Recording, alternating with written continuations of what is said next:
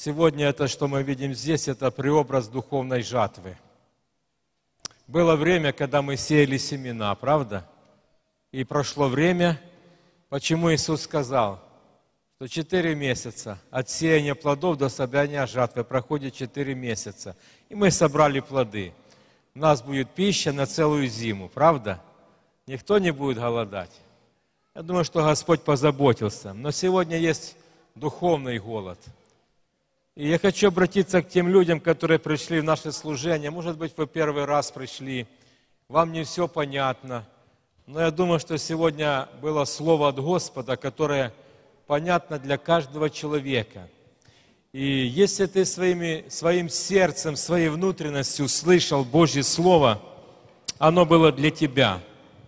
Потому что Иисус Христос, когда ходил по земле, Слово Божие повествует нам – Короткий отрывок, буквально 3-4 стиха прочитаю, которые говорят нам о последнем времени, о последней жатве. «И ходил Иисус по всем городам и селениям, уча в синагогах их, проповедуя Евангелие Царствия исцеляя всякую болезнь и всякую немощь в людях». Это один стих, я немножко, еще несколько стихов прочитаю. Смотрите, задача Иисуса заключалась в том, что Он был посланник с неба. Правда? Писание так повествует, что Он сошел с небес для того, чтобы ходить по земле и проповедовать людям Царствие Божье, исцелять всякую немощь и давать людям свободу от всякой болезни, всякой зависимости. Это было посланничество Божьего Сына. И дальше 36 стих 9 главы Ивана Матфея говорит нам следующие слова. «Видя толпы народа, он жалился над ними, что они были изнурены и рассеяны, как овцы, не имеющие пастыря. Тогда говорит ученикам своим, жатвы много, а делателей мало. Итак, молите Господина жатвы, чтобы выслал делателей на жатву свою. Еще немного, четыре месяца, как говорил Иисус, и придет время собирания плодов, собирания духовной жатвы. Мы не знаем, когда это случится и как это, и когда это произойдет, но твердо знаем одно, что жатва человеческих душ – она будет пожата. Поэтому, дорогой друг, брат и сестра, послушай, где будешь ты проводить вечность? Где буду я проводить вечность? Я знаю. Поэтому хочу прочитать еще несколько стихов с книги Откровения, которые говорят нам о том, что Бог пошлет ангелов своих, которые придут с серпом – чтобы пожать свою жатву. И послушай, сегодня это слово, оно обращено к каждому человеку. Нам нужно внутри своего сердца помыслить и подумать. Это пример для нас. Прошло короткое время, мы посели урожай и его собрали. Пройдет еще немного времени, и Бог соберет свой урожай. Я уже не буду говорить, брат Володя, я тоже э, приготовил проповедь вот, на четвертую главу Евангелия от Иоанна. Но когда Иисус ходил, знаете, нужно ему было проходить. Он пошел, вела дорога через Самарию. Он пошел туда, и он утрудился, устал, много ходил. И здесь мы видели, что ходил Иисус по всем городам и селениям, и что-то делал, правда? Не огороды копал. Он сеял духовные семена Божьего Слова – это очень важно, это может быть важнее за, за эту пищу, потому что когда ученики пошли, чтобы купить пищи, и они пришли, и они увидели, что Иисус там сидит и разговаривает с женщиной, они говорят ему, Рави, ешь. Принесли пищи, может быть, каких-то деликатесов купили.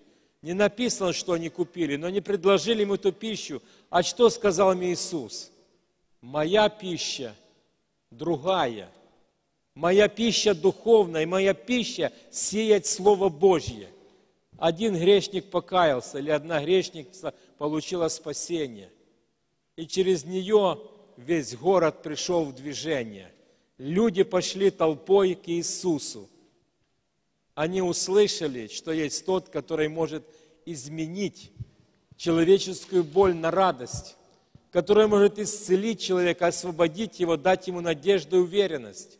Друзья, может быть, сегодня некоторые здесь сидят, и вы устали от житейских каких-то э, сложностей, от каких-то переживаний, трудностей или болезней. Послушайте, мы прочитали, что Иисус жалился над людьми, что они были изнурены, что они были ослаблены, что они были больные, и Он исцелил их. Он послал им победу, Он послал им свободу. Поэтому придет время, когда Божий серп будет пущен на землю, и земля будет пожата, жатва на земле будет собрана. Послушай, необходимо быть каждому из нас в этой Божьей житнице, на небесах, том царстве, которое Он приготовил для любящих Его. И несколько стихов прочитаю из книги Откровения, которые говорят то, что видел Иоанн, что Бог показал ему, как это будет происходить. «И взглянул я, и вот светлое облако, и на облаке сидит подобный Сыну Человеческому, на голове его золотой венец, и в руке его острый серп». Это не сказка, друзья – это не какая-то быль, это реальность. Это реальность. Потому что любящий Бог, который сотворил человека по своему образу, по своему подобию, послал своего Сына Иисуса Христа для того, чтобы спасти людей. Он пришел, чтобы спасти погибшие. Он пришел, чтобы дать надежду и будущность тем, которые потеряли всякую радость и всякую надежду. И поэтому Слово Божие говорит, что «И вышел другой ангел из храма и воскликнул громким голосом к сидящему на облаке, «Пусти серп твой и пожни, потому что пришло время жатвы, ибо жатва на земле созрела». Слава Богу! Мы живем в последнее время – мы живем во время жатвы всех жатв. И мы глубоко верим, что Божье Слово, оно будет исполнено. И жатва людских душ будет пожата. Поэтому сегодня звучит Божье Слово. Сегодня звучит Божий призыв. Придите ко мне все, и я успокою вас. И только те, которые услышат этот голос и откроют свое сердце – они войдут в жатву Господина жатв. И они будут вместе с Ним царствовать на небесах. Когда люди собирают этот физический урожай, они не оставляют его там на полях, чтобы дождь и снег, чтобы мороз его там портил. Они собирают его в хранилище. Они прячут его от непогоды. И поэтому человеческие души, которые ищут Иисуса, которые ищут спасения – они будут сохранены там, на небесах. Они будут в том вечном хранилище Божьего Царства, где не будет плача и скорбей, где не будет переживаний и горя. И поверх сидящий на облаке серп свой на землю, и земля была пожата. Пусть Бог сегодня напомнит каждому из нас, что время жатвы приближается, и оно очень коротко. Жатва – это такое, знаете, быстрое время. Ее нужно очень быстро убрать. Пшеницу, ячмень, овощи и фрукты, их нужно быстро убрать и переработать. Правда?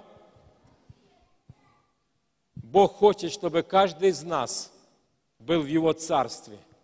Поэтому, если ты сидишь на этом служении, ты сегодня слышал Слово, ты сегодня слышал это пение, в котором прославлялось имя нашего Спасителя – и, может быть, ты неоднократно мыслил и думал, а что мне нужно сделать, чтобы быть спасенным? А что мне нужно сделать, чтобы быть прощенным? А что мне нужно сделать, чтобы быть освобожденным? Нужно одно – призвать Господина жатвы в свое сердце, помолиться Ему и признать Его за своего Спасителя. Поэтому я приглашаю к молитве. Я хочу, чтобы мы все вместе помолились. А если есть сегодня те люди, которые нуждаются в Божьем спасении, независимо, сколько тебе лет, сколько раз ты был в служении, послушайте, самарянка один раз услышала слово Евангелия о том, что ей необходимо покаяться изменить свою жизнь. И она получила спасение. И потом пошла и рассказала всему городу, что я нашла Мессию, то есть Христа Спасителя. И люди потекли толпой. Поэтому, если ты сидишь сегодня в этом служении, и твоя жизнь пришла к какому-то тупику, ты не видишь дальше выхода, послушай, выход есть. Это Иисус. Прими Его в свое сердце, и Он даст тебе мир, покой и радость. Твоя жизнь изменится. Ты будешь участником Божьей жатвы, и ты будешь жить на небесах, чудном и вечном городе, где плача не будет, скорбей не будет, где будет вечная радость. Давайте мы помолимся. Если твое сердце открыто для того, чтобы принять Иисуса, ты можешь выйти сюда наперед и рассказать Ему в коротких словах, что ты хочешь получить от Него прощение, спасение и жизнь вечную. И Он протянет к тебе свою руку, и Он простит тебя и даст тебе твердую надежду и уверенность.